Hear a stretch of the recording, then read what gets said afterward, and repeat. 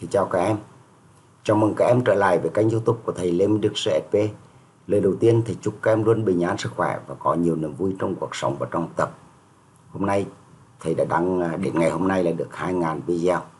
để bảo các em biết như vậy. Hôm nay chúng ta sẽ bắt đầu à, công phá câu 50 theo cái chuyên đề là tính đến điều hàm hợp hàm ẩn. Đây là chương trình à, những cái câu vận dụng và vận dụng cao theo chuẩn mẫu của Bộ Giáo dục ra đề thi năm 2023. Công à, phá câu 50 để chúng ta có cái phương pháp chung để giải câu 50. À, và câu 50 thầy đã sửa cho các em mà tất cả, kể cả đề của Bộ là đã có 5 đề rồi. Cho nên là hôm nay thầy à, dạy các em tiếp phần 1 về phần lý thuyết để các em nắm vững để chúng ta làm câu 50 cho tốt. Bây giờ chúng ta vào bài học. Câu 1 Câu này chuẩn bị để xếp dấu để làm những cái ờ, phần tiếp theo. Cho hàm số f phẩy x có bằng xếp dấu như sau. Hàm số f của x bình phương cộng 2x nghịch biến trong khoảng nào dưới đây. Như vậy thì ờ, hàm f như thế này người ta gọi là hàm ẩn và biết đào hàm của hàm ẩn hàm ẩn này là là là hàm hợp của cái x bình phương cộng 2x thì khi làm bài này thì ờ, chúng ta làm như sau. Đầu tiên chúng ta có thể đặt cũng được, mà không đặt cũng được. Ở đây bài đầu tiên là thầy đặt y bằng rễ x cho các em. Là bằng f của x bình phương, cộng với 2x sau đó các em lấy à, đầu hàm. Rễ với x là đầu hàm của hàm hợp.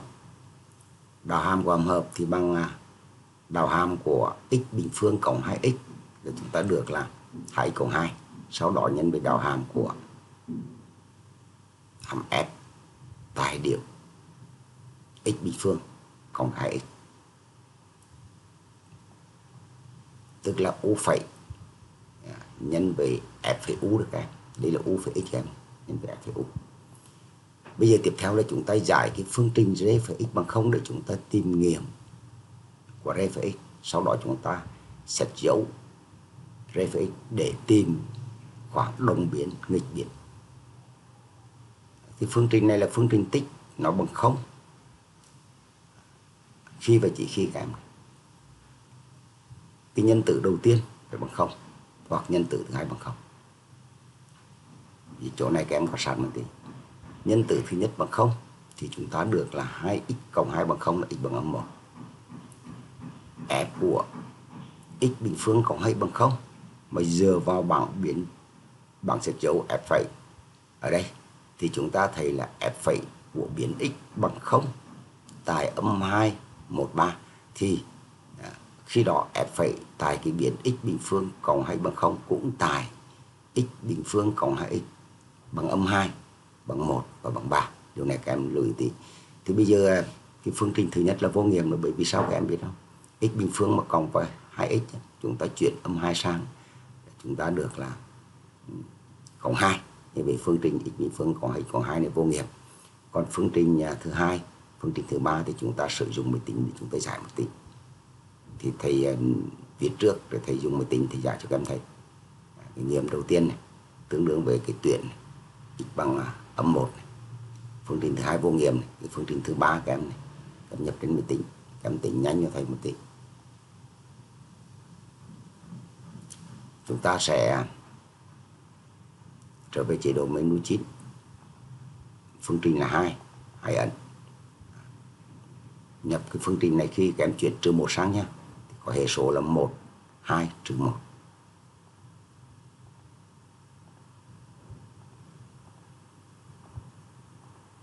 Các em có nghiệm mà trừ một cộng căn hai. Và nghiệm tiếp theo là trừ một trừ căn bậc hai của hai. Còn phương trình thứ hai này, phương trình cuối các em này các em chuyển 3 sang về trái thì nó xuất hiện a cộng b cộng c bằng không? Một nghiệm bằng một và một nghiệm bằng c trên a. A tức là âm 3 như vậy là chúng ta giải xong. Bây giờ chúng ta sẽ đi lập bảng xịt dấu. Y phẩy. Y phẩy là của rê đấy các em. Thầy đang còn để dấu đây này. Thì hướng dẫn các em xịt dấu này. thì chúng ta sẽ ghi các cái nghiệm mà chúng ta đã tìm theo từ từ tăng dần thầy xếp này, trừ 3 này, đến trừ 1 trừ căn 2 này. tiếp theo là trừ 1 này.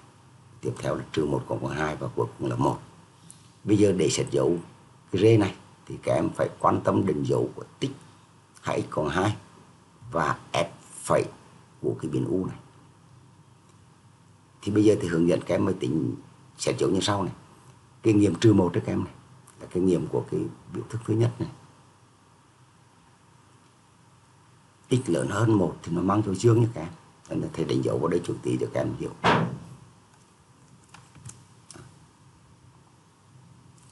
X lớn hơn trừ một thì biểu thức 2x cộng 2 mang dấu dương. Và x bé hơn nó 1 thì gồm có 3 khoảng thì nó lại mang dấu âm.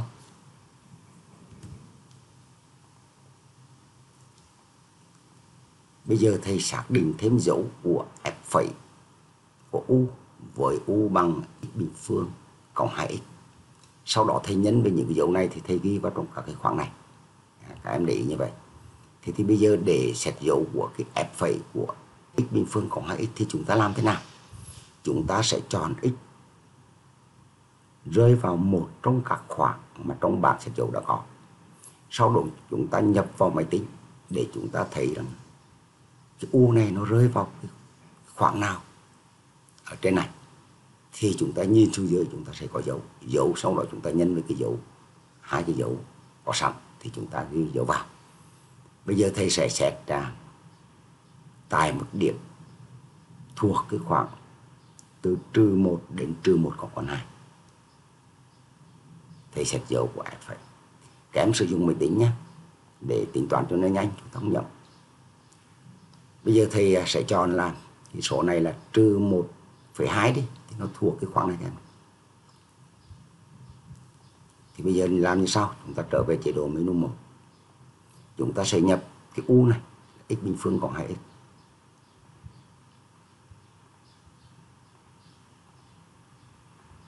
sau đó chúng ta nhấn can đến u đấy các em nhé. U tức là dòng trên cung đấy các em. Thì giờ chúng ta tí cho các em thấy. Bây giờ thầy tính là thầy trừ 1,1 âm 1,1 âm 1,1 đã rơi vào cái khoảng đầu tiên đấy các em này. À, thầy đừng còn thầy đánh dấu cho các em. Thầy xét dấu cái khoảng này, này. À, thì thầy chọn cái số nằm ở đây này.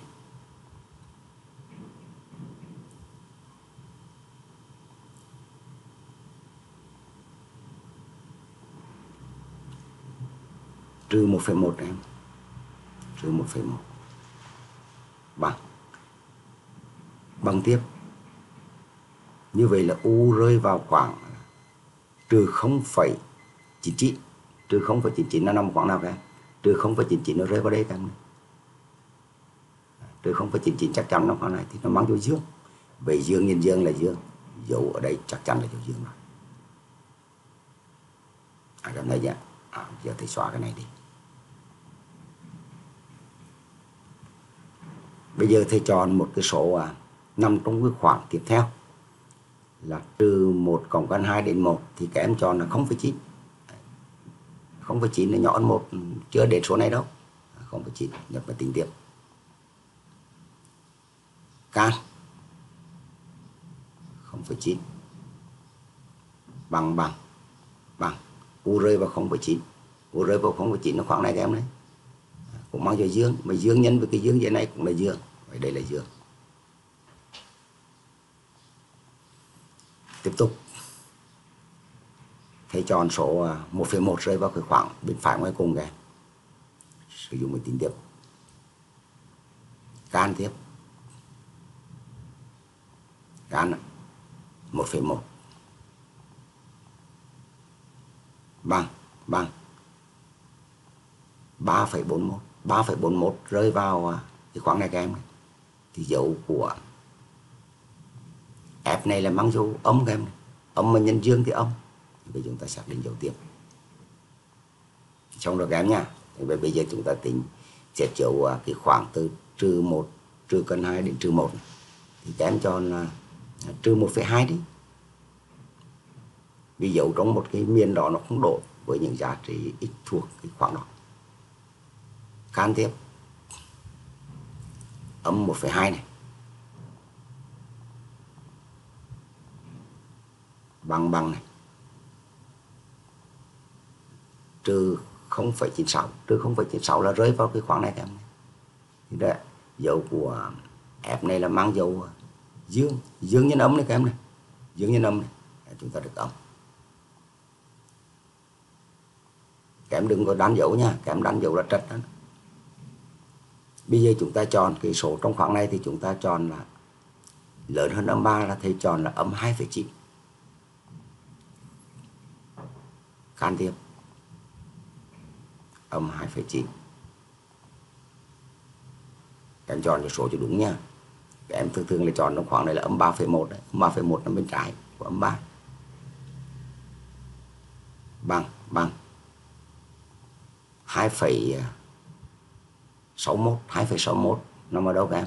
2,61 nằm trong cái khoảng từ 1 đến 3 các em này, mang cho dương. Mà dương nhân với âm vậy này là âm các em để ý cái điều đó nhá. Rồi thầy định dựa vào. Bây giờ khoảng cuối cùng thì thầy chọn là trừ 3,2 đi hoặc trừ 3,5 hoặc trừ 4 cũng được. Thôi mình chọn bằng âm 4 đi. Can âm 4 bằng bằng. 8 em. 8 lớn 3 này. Mang chữ âm này em. Âm nhân âm là âm nhân với âm này này. Để dương Đấy, chúng ta làm xong kém để ý cái chỉ dấu này, nó hỗ trợ cho chúng ta trong quá trình giải cái câu 50 đó. Nếu như người ta ra thêm những cái ý khác. Như vậy thì chúng ta đã xét dấu xong rồi, thì bây giờ dựa vào cái bảng mà xét dấu của rê để chúng ta tìm cái hàm số f ở trong này này. Em nghịch biến trên khoảng nào? Nghịch biến thì các em nhìn vào dấu âm này đúng không? Các em xét này. Đáp án nào các em? Nhìn vào đáp án này trừ 2 đến 1 này. trừ 2 đến 1 là trật này. trừ 4 đến 3 này. Trừ 4 đến 3 cũng trật luôn, bởi vì trong này nhiều dấu lắm. Trừ 4 đến trừ 3 này là đồng biến nhé thành thế này nhầm. Trừ 4 đến trừ 3 là hàm số đồng biến sai nữa. Từ 0 đến 1 từ 0 đến 1 là nằm ở cái khoảng này các em này. Dương này đồng đồng biến là sai này từ trừ 2 đến trừ 1 trừ 2 năm đấy các em trừ 1 trừ 1 đây. Hàm số nghịch nghịch biến đấy các em. Hai dấu âm đấy các em. Trừ 2 năm đây các em. Trừ 1 nằm đây hàm số nghịch biến này. Hai dấu âm. Như vậy là chúng ta kết luận là hàm số nghịch biến trên khoảng trừ 2 trừ 1 và chúng ta kết thúc. Chúng ta chọn đáp án đó câu D vậy là câu này các em à, lưu ý cái chỉ dấu dùng máy tính. Các em à, không nên giải bất phương trình, bởi vì giải bất phương trình nó rắc rối lắm. Phần này có mấy mấy phương pháp. Có hai phương pháp. Phương pháp thứ nhất là chúng ta xét dấu y phẩy. Phương pháp thứ hai là chúng ta đi giải bất phương trình. Rê phẩy này bé hơn hoặc bằng không? Mà điều này rất khó. Cho nên thầy hướng dẫn các em xét dấu như vậy là các em làm thì nhanh bây giờ tiếp tục chúng ta sang phần tiếp theo. Câu 2 là cho hàm số f có đồ thị f phẩy. Đồ thị f phẩy các em nhé. Bây giờ hàm số f bằng là f f hàm hợp. Hàm, hàm ẩn lại có lại có hàm hợp nữa. Hàm hợp của cái biến đó là trì tuyệt đối của 3 trừ x. Nó đồng biến trong khoảng nào vậy đấy? Thì trước hết thầy nói lại các em nhìn vào cái đồ thị f phẩy này các em đừng có quan tâm đến điểm cực đại, đồng biến nghịch biến f phẩy là chúng ta quan tâm đến dấu dương và dấu âm. Cho nên phần đồ thị của f phẩy này nó nằm phía dưới trục hành, nó nó âm mà thấy điền cái dấu màu đỏ. Đó là cái bản chất của cái đồ thị này. Còn đồ thị của hàm số f như thế này thì các em có đồng biến này, có nghịch biến này, có cực đại, có cực tiểu. Còn đồ thị của f phẩy là chỉ xét dấu dấu của f phẩy. Dựa vào đồ thị này thì phần đồ thị nằm dưới trục hành thì dấu f phẩy âm. Còn phần đồ thị mà nằm trên trục hành thì dấu đồ hàm bằng dấu dương.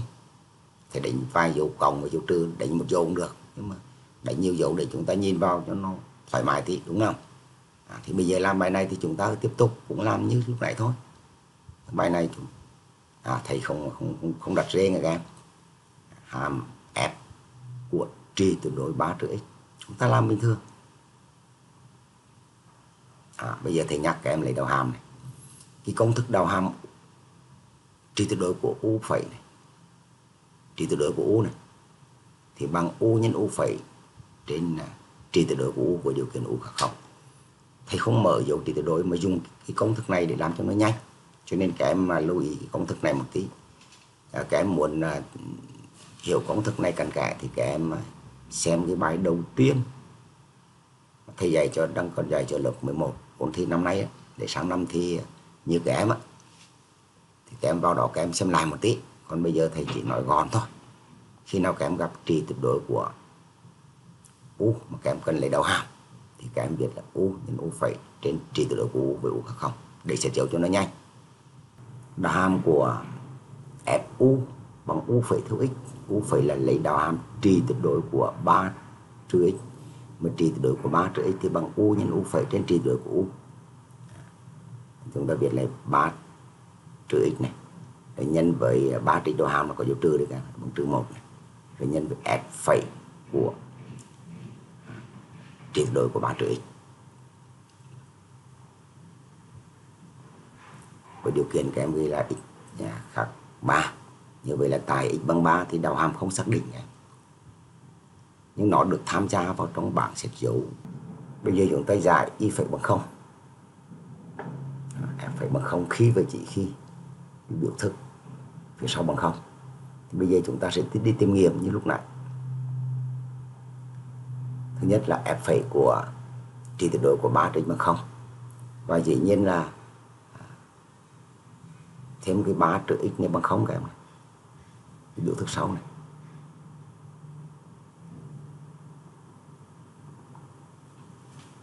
F phẩy của trị tuyệt đối của 3 trừ x bằng không dựa vào cái đồ thị này thì nó sẽ bằng không mà cái biến là trị tuyệt đối của 3 trừ x là bằng không tại trừ 1 1 4 chúng ta viết là trừ 1 1 4 và x, cái phương trình cuối cùng là bằng 3 thì phương trình đâu các em thấy là tuyệt đối của về trái mà bằng âm 1 là sai rồi cho nên phương trình này bị loại đúng không và thứ ba nữa là cái x bằng 3 cũng bị loại luôn.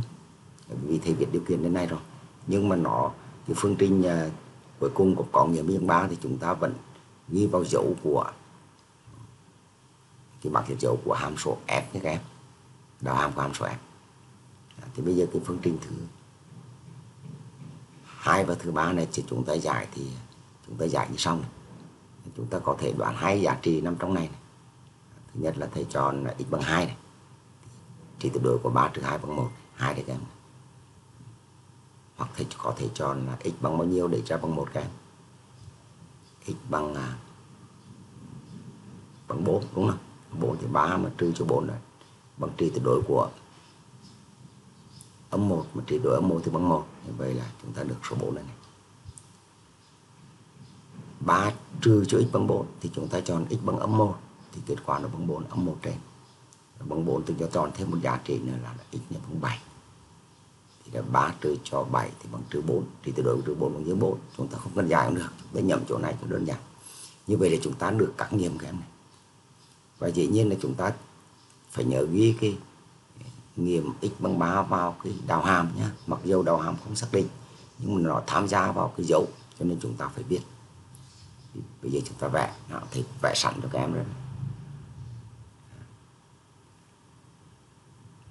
Chúng ta xếp thứ tự là trừ một này, đến hai này, đến ba này, các em này, đến ba này. Ba là đào hàm không xác định, bốn và bảy. Thì bây giờ chúng ta cũng làm như lúc nãy thôi. Bây giờ các em để ý cho thầy khi đó các em mà khi xét dấu thì các em có như bỏ cái ba trợ x này đi. À, ba trợ ích này đi. Thì bây giờ chúng ta xác định cái dấu tại điểm bên phải của ba bên trái của ba này. Bên phải của ba và bên trái của ba thì các em bỏ cái này đi nha. Bỏ cái trị đối của ba trừ cho mẫu thì nó có chỉ đây. Thì, thì khi đó là trừ của ba trừ x thì hệ số của x khi đó mang dấu dương. Như vậy là nằm bên phải này là mang dấu dương rồi thì ghi cái dấu dương này vào đây. Này. dấu âm để chúng ta cũng đừng có quên là nhấn với dấu lúc nãy thôi. Âm nằm đây nha. Trong đây là của cái, cái biểu thức thứ nhất đây các em này. Bây giờ chúng ta sẽ dấu tiếp của f phẩy trị tuyệt đối của 3 x. Thì chúng ta bắt đầu là nhập để xem cái, cái biến trị tuyệt đối này nằm ở cái khoảng nào trong cái trên trục hoành để chúng ta xác định đạo hàm dương hay âm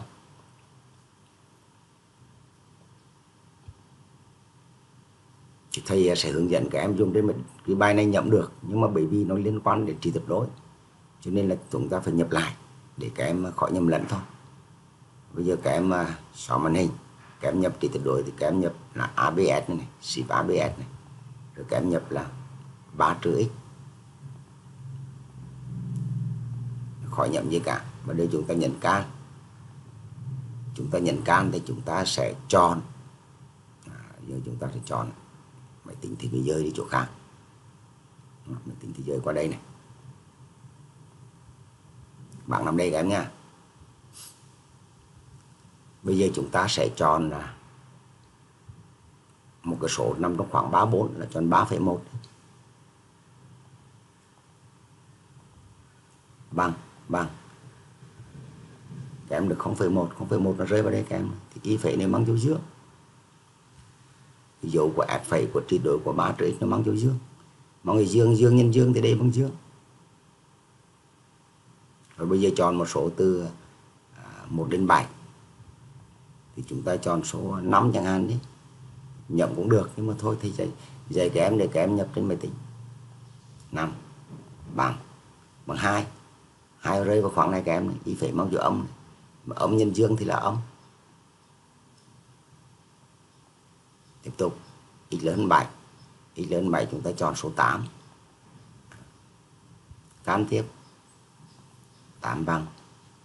Bằng tiếp. Số 5 là các em lớn hơn 5 là y phẩy, bằng dấu dương. Dương nhân dương là dương. Như vậy là các em mà thấy là bên à, phải này nó đánh dấu, thì chắc chắn bên trái này đánh dấu các em không cần kiểm tra nữa. Ông. Dương. Nào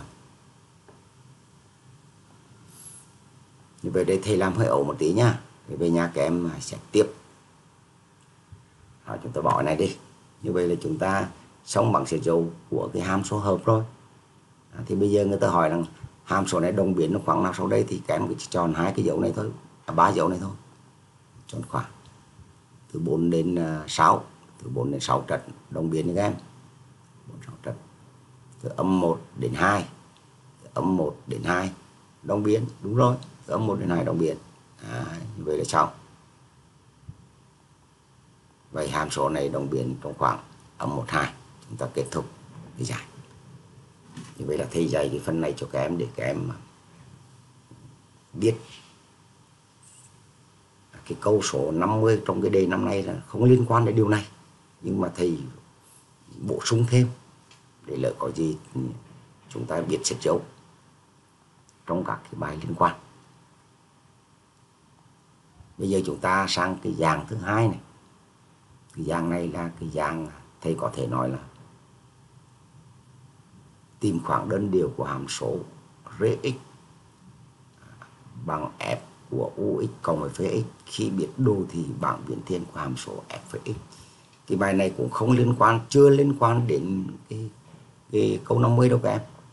Nhưng mà chúng ta phải cũng chuẩn bị những kiến thức để lỡ câu 50 nó ra có liên quan thì chúng ta tri tuyệt đối thì chúng ta biết cách làm. À. vì biết đâu cái tri tuyệt đối nó nó phủ ngoài cái rê này các em bây giờ thầy nói đến phương pháp một tí. Chúng ta có hai cách. Cách một là tính đạo hàm của rê. Như, như thầy vừa nói với các em. Nó gồm u phẩy x nhân f phẩy x cộng với à, b phẩy x sau đó chúng ta sử dụng đồ thị f phẩy lập bằng chén dấu rê phẩy thầy vừa rồi hướng dẫn các em rồi. Nhưng mà trong cái bài này rất đặc biệt, vì nó thêm cái v. Và dựa vào bảng chén dấu thì kết luận đồng biến, nghịch biến hàm số. Cái hai là chúng ta cũng làm như vậy, nhưng mà chúng ta giải bất phương trình. Cái hai này chúng ta không nên làm, mặc dù là có phương pháp. Khi nào thì làm? Khi cái bài toán nó ngắn thì chúng ta làm.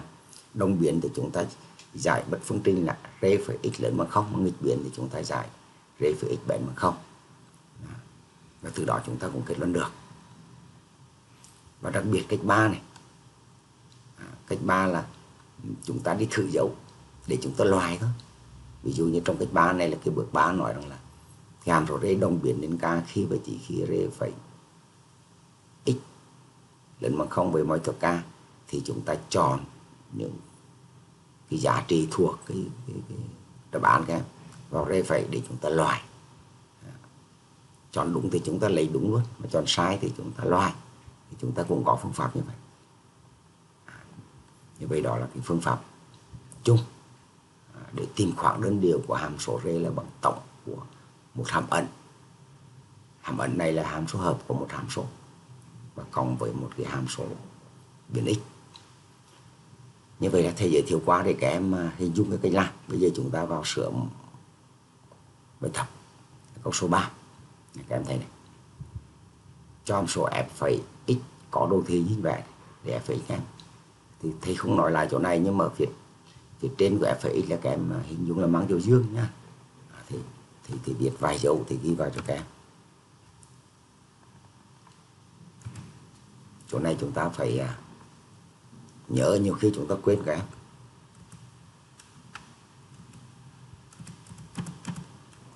dương này các em này đồ thị f phải nằm trên trục hành là mang dấu dương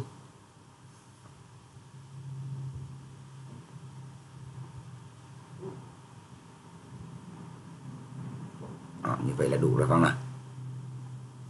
Còn đồ thị f phải mà nằm mà dưới trục hành thì mình ghi là dấu âm mình nhìn vào mình khỏi nhầm lẫn.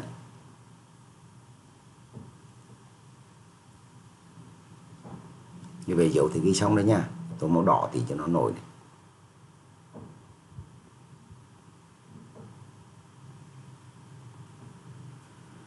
rồi, xong. Bây giờ chúng ta làm gần lượt như cũ. Sẽ hàm số. Thì việc là cái hàm số này là hàm số hợp.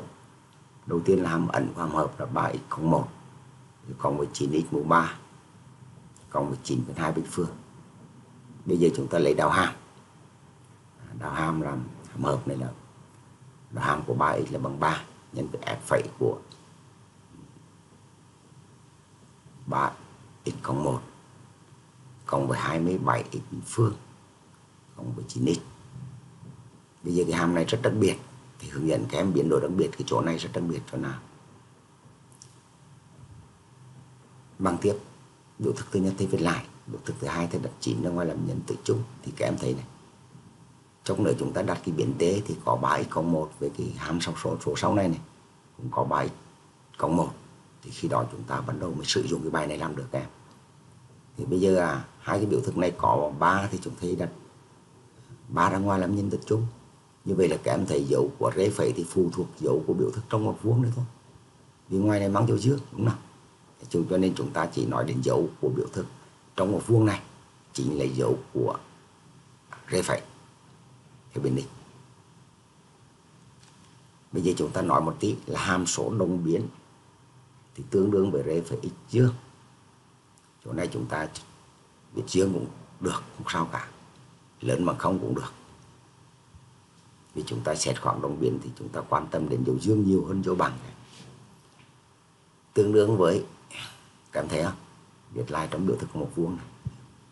Cái chỗ này thì các em, bây giờ dựa vào cái f phẩy của x thì f phẩy của t đấy các em. Chúng ta đặt cái này là cho gọn t. Thì đây là f phẩy của t thì đặt t bằng 3x cộng 1 thì 3x cộng 1 bằng t, còn x thì chỉ bằng bằng bao nhiêu các em? X sẽ bằng à,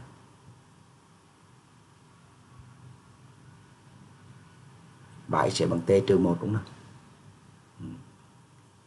Cho nên chúng ta sẽ đặt ẩn ta đặt t bằng 7 cộng 1 thì khi đó chúng ta sẽ có là cái bất phương trình sao nên nó sẽ tương đương f với t. ba 3x này thì bằng là t trừ 1 3x cộng 1 này bằng t dương. Thì đến đây các em làm sao mới giải à, thầy sẽ hướng dẫn các em chỗ này một tí. Chỗ này rất là hay ở chỗ này. Cái bài này khác f phẩy t lớn hơn. Trừ t bình phương cộng với t đồ thị f t là giống như f x đấy. Nó lớn hơn. Trừ t bình phương cộng với t cái biến x kém quan niệm bây giờ là biến t kém nha. Thì kém phải hiểu là cái đồ thị của hàm f này lớn hơn cái đồ thị của parabol này. Thì chúng ta phải vẽ cái parabol này ra. Cái parabol này nó sẽ đi qua hai điểm. Nếu cho bằng y bằng không, thì à, nó sẽ đi qua điểm không và một được em. Xem thử nó có đi qua điểm hoành độ 2 trừ 2 không? Kém cho bằng 2 này. Thì nó sẽ đi qua điểm 2 âm 2 kém cho âm 1 này, thì nó sẽ đi qua điểm âm 1 nhé thì đi qua điểm âm 1 trừ 2 như vậy là cái parabol đó nó đi qua điểm này này, ô này, điểm à, mà hoành độ bằng 1 và cái đỉnh ở dưới này này cái điểm cực cái điểm có tọa độ chứ không phải cực, cực tiểu đâu em thế thế nó nhầm đấy. Đi qua cái điểm có tọa độ là hai trừ hai. Vì à, cái đồ thị này chúng ta chỉ quan tâm đến dấu chúng ta không quan tâm đến cực đại cực tiểu. Nhiều khi cũng thấy cũng nhầm nhầm nhầm tí. Cái thể vẽ nó ra đó, em thấy không? Khi vẽ ra thì các em biết rằng là cái phần đồ thị f phẩy là màu đen. Nó sẽ lớn hơn cái parabol màu đỏ thì vậy khi nào? Thì các em nhìn này. Với t nằm trong khoảng, phần năm trên ở đây các em này. Phần năm trên là phần này này. Mà phần năm trên thì khúc này thì với t lớn hơn trừ một nhỏ hơn một đúng không? Mà phần ở phía phải này mà lớn hơn cái đoàn mà thế đăng chỉ đây thì t sẽ lớn hơn hai. Vậy dựa vào đô thị à, như vậy là thầy việt bị lỗi rồi. Dựa vào hai đô thị thì ta thấy thì sửa lại thì dựa vào hai đô thị thì ta thấy là f phẩy của t lớn hơn trừ t bình phương cộng với t khi và chỉ khi. T lớn từ một nhỏ một hoặc t lớn này bây giờ các em thay t này bởi cái gì này bởi bảy cộng một vào thôi tương đương với 3 cộng 1 lớn hơn trừ 1 nhỏ hơn 1 và 3x cộng 1 lớn 2 cộng trường ồn ào quá. Một phương trình à, thứ nhất các em chuyển 1 sang về phải là không. Các em chia cho 3 được không. Chuyển 1 sang về trái được âm 2 chia cho 3 thì được âm 2 phần 3 về x nhọn không, lớn hơn trừ 2 phần 3 một phương trình thứ hai thì chúng ta được x lớn hơn 1 phần 3 thì bây giờ các em xem thử là người ta hỏi cái gì? Hỏi hàm số f đồng biến trên khoảng nào dưới đây chúng ta có được kém này. Kém do này. Trừ một đến một trừ một đến một mà rất trật rồi này. Nhìn vào cái đi bật phương trình thứ nhất là trật rồi. Trừ hai đến không? Trừ hai đến không cũng trật bởi vì nó khoảng này là chỉ có trừ hai phần ba đến không thôi. Trừ vô cực đến không là càng trật nữa x lớn 1 phần 3 tức là x thuộc về khoảng 1 phần 3 cộng vô cực. Thế thì một cộng vô cực là tập con. Vậy chúng ta chọn đáp án chính là đáp án D đó các về cái bài này à, liên quan đến cái đồ thị của hàm ẩn, nhưng mà lại lại thêm tổng với một cái hàm số theo biến x nữa. Các em cần lưu ý bài này. Bây giờ chúng ta tiếp tục à, đây cái dạng đề thi của chúng ta đây các em dạng số 3 này. À, lúc này thầy à, định viết thêm cho các em cái dạng số 1 là cái dạng đầu tiên đó. nhưng mà thôi, thầy viết lên nhiều khi nó phức tạp quá. Đây chính là cái chương trình công phá của chúng ta này, sẽ tính đến điều của hàm số. Trí tuệ đối với bên trên đoàn khoảng nửa khoảng chỗ trước. Và câu nó mới rơi vào phần này các em nha các em chú ý để chúng ta luyện tập phần này cho kỹ. Trước hết, thầy nhắc lại cái đồ thị của hàm số chứa dấu giá trị tuyệt đối. Phần này các em nói học kỹ rồi, cho nên thầy nói qua. Thế thì từ đồ thị hàm số fx suy ra đồ thị của hàm số tuyệt đối thì làm bằng cách nào? Thì thứ nhất, nếu cái phần đồ thị nằm trên đồng khoanh thì các em giữ nguyên.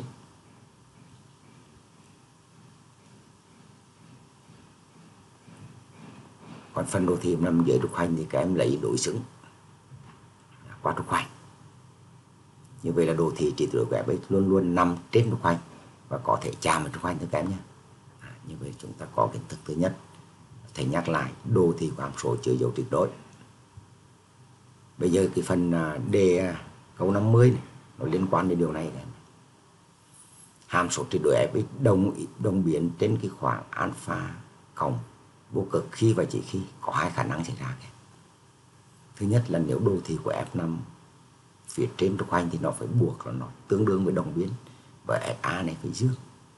À, cấu trúc của cái hình ảnh này là như vậy.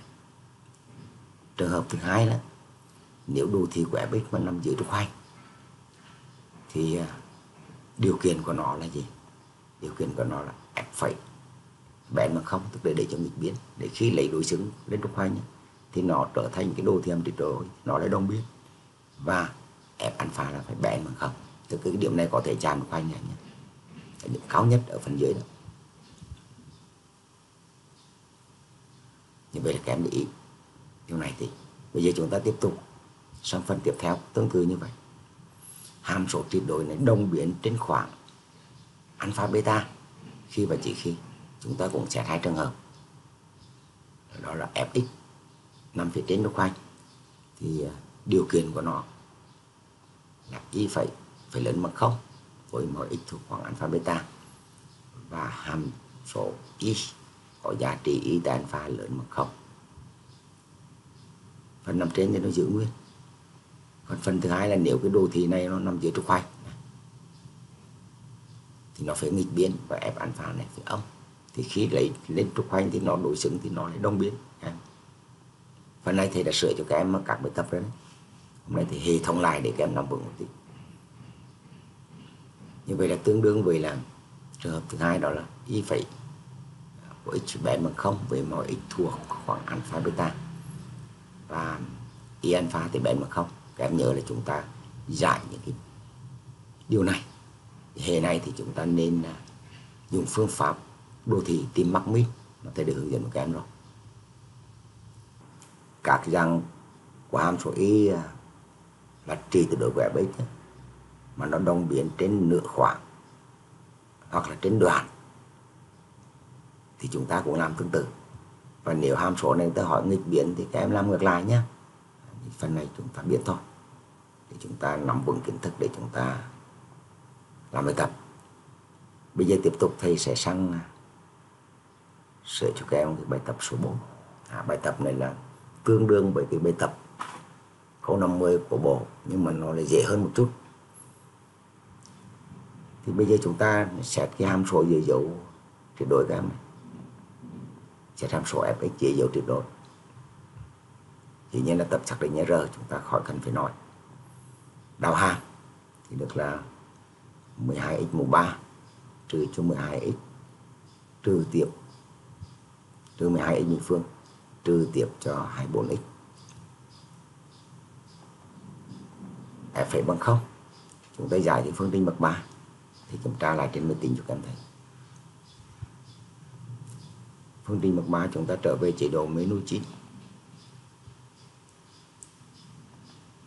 23 chúng ta nhập 12 trừ 12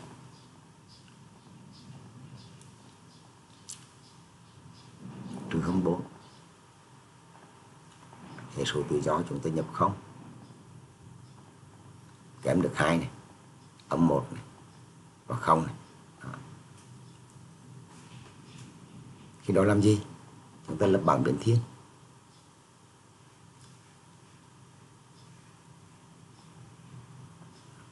Lập bảng biến thiên các em nha.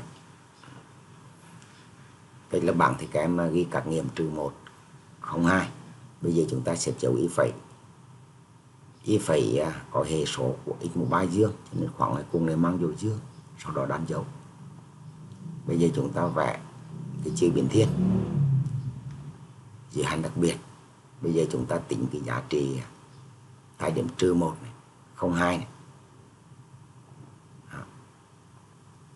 Các em thay vào cái hàm số y này, các em tính cái giá trị cho thầy. Chúng ta được tại một trừ một trừ 1 thì chúng ta được là x bằng trừ 1 thì trừ số à, uh, mũ lẻ này mang vô cộng các như vậy chúng ta được 3 còn 4 3 mà cộng với 4 là 7 7 mà trừ cho 12 là còn âm 5 âm 5 cộng m này. Thầy x bằng 0 thay vào đây để được m này. Bây giờ tiếp tục uh, thay bằng hai. Dạ, à, các em thay hai vào. Thì các em được giá trị của biểu thức khi thay hai là được trừ 32 cộng với m thì bây giờ chúng ta đi à, làm điều gì? Hỏi có, có bao nhiêu giá trị nguyên của m nhỏ hơn 10 để cái hàm số tuyệt đối này nghịch biến trong khoảng từ âm vô cực đến âm một. Thì các em nhìn vào đây này thì các em thấy rằng là nhìn vào bảng vị tiến là các em thấy là buộc cái m trừ 5 này phải lớn bằng không, đúng không? Bởi vì phần đồ thị này nó nằm trên trục khoanh cho nên trị tuyệt đối của cái phần đồ thị fx lớn bằng không là chính nó. Hoặc là chúng ta có thể dựa vào cái cấu trúc viết cũng được.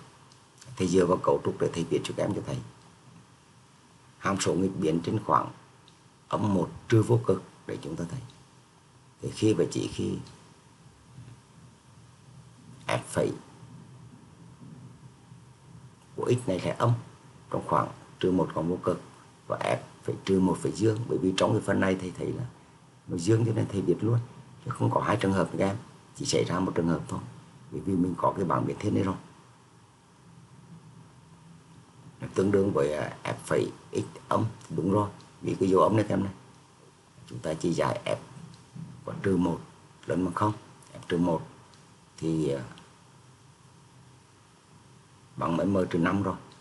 Cho nên chúng ta giải bất phương trình này thì chúng ta được là m lớn bằng 5 mà m lớn bằng 5 mà m nguyên bé bằng 10 cho nên chúng ta sẽ có m nhận những giá trị 5, 6, 7, 8, 9 với chúng ta chọn đáp án chính là 5 giá trị nguyên đáp án A. Chúng ta kết thúc. Như vậy là thầy sửa cho các em à, bốn câu. Và trong đó có à, một câu liên quan đến cái câu 50 và các câu khác thì liên quan đến sách chiếu để hỗ trợ cho các em các cái bài tập nếu có liên quan. Thì như vậy là chúng ta sẽ luyện tập kỹ câu số 50 là chúng ta luyện tập đến bây giờ là kể cả câu này là câu thứ bảy đấy các em. Cho nên về nhà các em tiếp tục luyện tập. Hôm sau chúng ta tiếp tục cái phần chuyên đề công phá câu 50 này thêm một vài bài nữa, khoảng 5 bài đấy các em, để chúng ta nhuyễn trong cái công pháp câu 50 này cuối cùng thì chúc các em luôn bình an sức khỏe và có nhiều niềm vui trong cuộc sống và trong học tập. Hẹn gặp lại các em trong các video tiếp theo. Chào tạm biệt các em.